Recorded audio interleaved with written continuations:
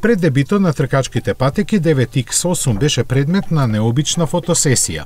Сакајки да истакне естетската складност со бруталните перформанси на Peugeot 9X8 Hybrid Hypercar, лавот од Велисејските полиња го постави болидот во катна гаража. Тоа е метафора за престојниот предизвик на 24 часа Леман, легендарната трка на издржливо за возачите и болидите, каде Peugeot досега три пати триумфираше. За хибрид хибридниот хиперавтомобил е направен атрактивен и страствен изглед кој е во подполна функција на перформансите. Иако е тркачки болид, кабината е заснована на карактеристичниот концепт на марката iCockpit, кој е дизајниран да обезбеди највисоко ниво на ергономија и интуитивност за возачите.